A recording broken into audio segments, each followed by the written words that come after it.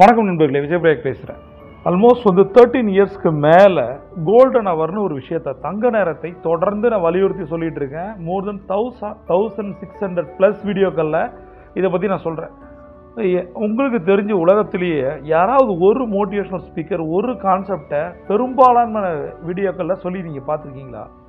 இப்போ நான் ஏன் சொல்கிறேன் தெரியுமா? இதோடைய பவரே வேறு. இதை பண்ணி பார்த்தவங்களுக்கு தான் தெரியும் வாழ்க்கை மாற்றத்திற்கான மிகப்பெரிய டூல் இது. மிகப்பெரிய கடன் அது. ஊரை விட்டு ஓடி ஒவ்வொரு பிரச்சனையும் ஃபேஸ் பண்ணி செத்துலாம் நினைக்கும் போது கிடைச்ச வரம் அது. அதனால தான் சொல்கிறேன் ரெண்டு விஷயம் இருக்குது நிறைய பேர் கடனோட இருக்காங்க. தொடர்ந்து கடன் வந்து அடையுது. கொஞ்சம் அடையுது. நிறைய அடையல. அதுக்கு காரணம் சொல்கிறது என்னால் காலைல எந்திரிக்க முடியல. இது வந்து நான் பார்க்குறது இது ஒஸ்ட்டு பத்தடிக் ஆன்சராக நான் பார்க்குறேன். அதான் சொல்கிறேன் நீங்கள் வந்து காலையில் நாலு மணிக்கு எந்திரிக்க முடியலன்னு சொல்லும் போது அந்த கடனுக்கு தகுதியானவர்கள். இப்போ நிறைய நீங்கள் பேப்பரில் மீடியாவில் பார்க்குறீங்கல்ல பத்து பர்சன்ட் ரிட்டர்ன் கொடுத்தாங்க முப்பது பர்சன்ட் ரிட்டர்ன் கொடுக்குறேன்னு சொன்னாங்க. இது வந்து நாங்கள் எல்கேஜி பி செக்ஷன்லேருந்து தொடர்ந்துட்டு இருக்கு இத்தனை வருடங்களாக ஒரு பணத்தை ரிட்டர்ன் பண்ணும்போது இவ்வளோ தான் பண்ண முடியும். உங்களால் எவ்வளோ கடன் வாங்க முடியும்? முதலீடு பண்ணும்போது ஒன்று நல்லா யோசிக்க வேண்டிய விஷயம் என்ன தெரியுமா? உங்களால் எவ்வளவோ கடன் வாங்கிட்டு திருப்பி தர முடியும்? மூணு வட்டி திருப்பி தர முடியுமா? உங்களால் அஞ்சு வட்டி பத்து வட்டி உங்களால் திருப்பி தர முடியுமா? முடியாதுல்ல. அதே மாதிரி தான் எந்த ஒரு கார்ப்பரேட்டாலும் முடியாது. ஃபஸ்ட்டு ரெண்டு வட்டி ஒன்றரை வட்டி தான் தர முடியும். அதே கான்செப்ட் தான் நீங்களும் போகணும். ஒரு முதலீடு பண்ணுறான்னா முன்னாடி இருக்கிற ஒரு இன்வெஸ்டருக்கு நீங்கள் உங்கள் பணத்தை கொடுக்குறீங்க. அது சேஃப்டியான கம்பெனியாக லீகலான கம்பெனியாக முதல்ல பார்க்கணும். அவங்கள்ட்ட இன்வெஸ்ட் பண்ணுறீங்கன்னா இவ்வளோ தான் ரிட்டர்ன் தர முடியும். அதுதான் சொல்கிறேன் நாங்கள் நாற்பத்தி அஞ்சுலேருந்து நாற்பத்தொன்று நாற்பது முப்பத்தாறு இருபத்தி நாலு வந்து நிற்கிறோம் நாங்கள் குறைச்சிட்டே போகிறோம் ஏன்னா ஒரு பிஸ்னஸ் மேனுக்கு ஒரு நல்ல கவனிங்க.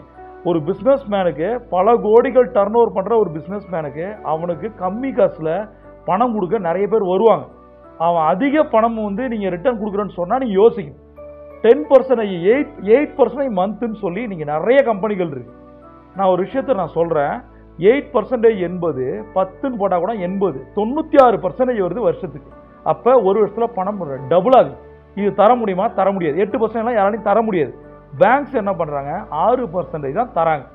அதான் நார்மல் என்பிஎஃப்சி மேபி பன்னெண்டு தரலாம். மேக்ஸிமம் அவ்வளோதான் நாங்களுமே அதுக்கான இடத்துக்கு தான் போயிட்டு இருக்கோம் எங்களுடைய சொந்த இன்வெஸ்ட்மெண்ட் கம்பெனியாக இருக்கட்டும் நிதி லிமிட்டடாக இருக்கட்டும் என்பிஎஃப்சியாக இருக்கட்டும் எல்லாமே நாங்கள் பயணிக்கிறது டுவெல் பாயிண்ட் செவன் ஃபைவ் தான் நாங்கள் போயிட்டு இருக்கோம் பட் மக்கள் என்ன பண்ணுறாங்க பணம் எங்கே அதிகம் வருதுன்னு போடுறாங்க. இதை பயன்படுத்திக்கிட்டு அதை வந்து ஒரு ட்ரம் கார்டாக யூஸ் பண்ணும்போது நான் வந்து பத்து பர்சன்ட் தரேன் எட்டு பர்சன்ட் தரேன் முப்பது பர்சன்ட் தரேன். மக்கள் போய் பணம் விடுறாங்க அது ஒரு காலகட்டத்தில் அவங்களால தர முடியாது அவங்க எஸ்கேப் ஆயிடுவாங்க அவ்வளோ ஐநூறு கோடி ஆயிரம் கோடி ஆயிரத்தி நானூறு கோடி நிறைய ஸ்கேமை பார்க்குறோம் இந்த இடத்துல நான் சொல்கிறேன் பாருங்கள் அது கரெக்டு என்றைக்கு ஒருத்தன் பேராசைப்படுறானோ அவன் பணம் போகணும்னு இருக்குது என்றைக்கு நீங்கள் ஒரு ஆவரேஜாக என்கிட்ட பேசும்போது என்னை என்னோடய கம்பெனியில் பேன் கார்டை கொடு ஆதார் கார்டை கொடு கம்பெனி டீட்டெயில்ஸ் கொடு இதெல்லாம் கேட்குறவங்க முப்பது பர்சன்டேஜ் பத்து பர்சன்டேஜ் நினச்சேன்னா நாளைக்கு ஆயிரம் கோடி கலெக்ட் பண்ண முடியும். ஒரே ஒரு வார்த்தை மாதம் பத்து பர்சன்டேஜ் தரனா முடிஞ்சு போச்சு. பட் தர முடியுமா? முடியாது. அது போல தான் உங்களால் கடனை அடைக்க முடியல. அதுக்கு காரணம் என்னன்னா என்னால் காலைல எந்திரிக்க முடியாது. முடியாது நீங்கள் சொல்லும் போது இந்த உன்னால் முடியவே முடியாதுன்னு பிரபஞ்சம் சொல்லுது. அதனால தான் இந்த சேலஞ்ச் என்ன ஆகுதுன்னா கண்டினியூஸ் ஆகிட்டே இருக்கு. சீக்கிரம் தூங்கி காலைல எந்திரிங்க. நான் என்ன தான் சொல்கிறேன்னு கேளுங்க. கோல்டன் அவர் திரும்ப திரும்ப சொல்கிறேன் உங்களுக்கு நான் ஒரு சூப்பர் சீனியர் நான். உங்களுக்கு முன்னாடி ஒரு கடங்கார அண்ணன் வச்சிங்க சரியா? நான் கஷ்டப்பட்டேன். நீங்கள் படாதீங்கடா இதை செய்யுங்கடா நான் சொல்கிறேன் வேற என்ன? செஞ்சு தான் பாருங்களேன். எவ்வளோ பேரோட வாழ்க்கை மாற்றம் வந்திருக்கு தெரியுமா? இதை பேஸ் பண்ணி தான் நம்ம வந்து கோல்டன் அவரை பேஸ் பண்ணி பணமந்திரங்கள் மந்திரங்கள் புத்தகத்தை நம்ம கொடுத்தோம். பத்து ஸ்ட்ராட்டஜி இருக்குது தங்க நேரத்தில். கீழே டிஸ்கிரிப்ஷன் லிங்க் இருக்குது அதில் ஒன்று தான் சுய கட்டளைகள் அதை சொல்லும்போது மைண்டாரா பாடியாராக மாறுது. உங்களால் அந்த பண மைண்ட் செட்டுக்குள்ளே போக போக முடியுது. ரெண்டாவது விஷயம் மெயினான விஷயம் இந்த பத்து கான்செப்டையும் சொ வெறுமனே நான் சொல்லிட்டு போயிட்டேன்னா நீங்களும் செய்ய போகிறதில்ல நான் என்ன எஃப்எம் எஃப்எம் ஜாக்கியாரானு ரேடியோ ஜாக்கியாரானே நான் சொல்லிகிட்டே இருக்கிறது எனக்கு கேட்டே போகுது. நான் சொல்கிறத நீங்கள் செய்யணும். ஏன்னா என் குரு சொன்னதை நான் செஞ்சேன் கடனை அடைச்சேன். நீங்களும் அடைக்கணும் என்ன பண்ணணும்? அப்போ அந்த பத்து ஸ்ட்ராட்டஜி நீங்கள் சரியாக பண்ணுறீங்களா உங்களுக்கு டெய்லி ஹோம்ஒர்க் கொடுக்கறதுக்கு தான் தங்க நேர டைரியை நான் கொடுத்தேன். அதில் க்ளீனாக அந்த பத்து கான்செப்ட் இருக்குது ப்ளஸ் பேங்க் அக்கௌண்ட் எப்படி வந்து மெனிப்புலேட் பண்ணணும்? உங்கள் டாஸ்க் என்ன? க்ளீனாக நான் கொடுத்து வச்சுருக்கேன். பணமந்திரங்கள் புத்தகமும் தங்க நேர டைரியும் சரியாக யூஸ் பண்ணிங்கன்னா தொண்ணூறு நாளில் உங்கள் வாழ்க்கை மாறும். இதை நான் இதை நான் எல்லாமே சொல்லிட்டேன். இது என்ன புதுசாக இருக்குன்னு கேட்குறீங்களா ரீசெண்டாக நான் வந்து ஒரு ஒரு பெண் தொழில் முனைவரை சந்தித்தேன். அவங்களோட வேலை என்னென்னா ஒரு ஒரு ஆக்சிலரேட்டர் கம்பெனி வச்சுருக்காங்க. அவங்க வந்து நிறைய பெண் தொழில் முனைவர்களுக்கு ஐடியாஸ்லாம் சொல்லி ஸ்ட்ராட்டஜிலாம் சொல்லி அவங்கள டெவலப் பண்ணுறாங்க அவங்கள சந்திப்பதற்காக நான் சென்றிருந்தேன். அப்போ வந்து நான் வந்து என்னுடைய கிஃப்டாக இந்த தங்க நேர டைரியை நான் கொடுத்தேன். சரியா? எல்லாருக்கும் கொடுத்த மாதிரி தான் கொடுத்தேன். பட் இதை எப்படி பயன்படுத்தணும்னு சொல்லி கொடுத்தேன். அவங்களுக்கு நான் யாருன்னு தெரியாது. அப்படி சொல் எனக்கு ரெண்டு நிமிஷம் தான் டைம் இருந்தது. சொல்லி கொடுக்கும்போது நான் சொன்னேன் என் குரு ஒரு டைரியை கொடுக்கும்போது என்கிட்ட சொன்னது என்ன தெரியுமா? மனசாட்சியோட செய்யி அப்படின்னு சொல்கிறாங்க ரைட் அதே மாதிரி தான் நான் சொல்கிறேன் இந்த பத்து கான்செப்டையும் நீங்கள் மனசாட்சியோட செஞ்சீங்கன்னா நீங்கள் எதிர்பார்க்குற ட்ரீம் இன்கமை எழுதிங்க.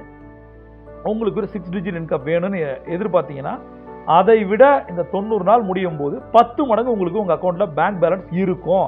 அதை இந்த டைரி தரும் நான் சொல்லிட்டு வந்தேன். இது வெற்று மோட்டிவேஷன் கிடையாது. இதை யார் சரியாக செஞ்சாலும் அவங்க ஜெயிச்சிருவாங்க. இதை நான் வந்து பல நூறு டெஸ்டிமனி என்கிட்ட இருக்குது அதை நான் பெரும்பாலும் அதை போடுறதில்ல. அது விருப்பம் இல்லை. பட் என்னாச்சு தெரியுமா?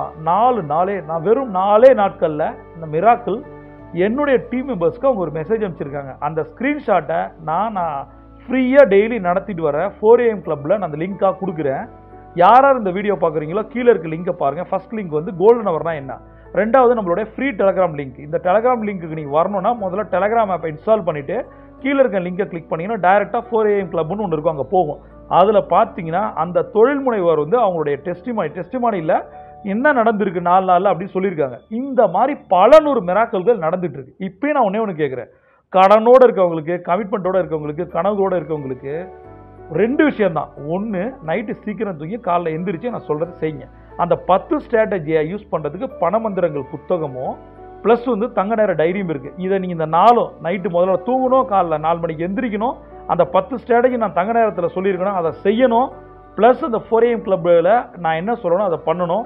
அடுத்தது பணமந்திரங்கள் புத்தகத்தில் சொல்லப்பட்டிருக்க சுய கடல்களை எழுதும் இது எதுவுமே பெரிய ராக்கெட் சயின்ஸ் கிடையாது. என்னால் செய்ய முடியும்னா உங்களால் செய்ய முடியும். என்னால் என்னுடைய கடனை பதினெட்டு மாதத்தில் அடைக்க முடிஞ்சுது அப்படின்னா உங்களாலையும் அடைக்க முடியும். அப்போ இருந்த காலகட்டம் வேறு இப்போ இருக்க காலகட்டம் வேற. நீங்கள் நினச்சிங்கன்னா எட்டு மாதம் கூட அடைக்கலாம். அதற்கான system strategy design pattern algorithm எல்லாமே நான் கொடுத்துட்டேன். நான் ஒன்றே ஒன்று தான் கேட்குறேன் கடனோட கஷ்டப்படுறதை விட நைட்டு சீக்கிரம் தூங்கி காலைல நாலு மணிக்கு எஞ்சி ஒரு ஒரு ஒன் ஹவர் தொண்ணூறு நாள் கஷ்டப்பட்டு பாருங்கள் உங்கள் பத்து தலைமுறை அடுத்து வர பத்து தலைமுறை சந்தோஷமாக நிம்மதியாக தூங்கும். பிரபஞ்சம் போட்டி தர காத்திருக்கு. நீங்கள் ஒரு சாம்பியன் சியோன் டாப்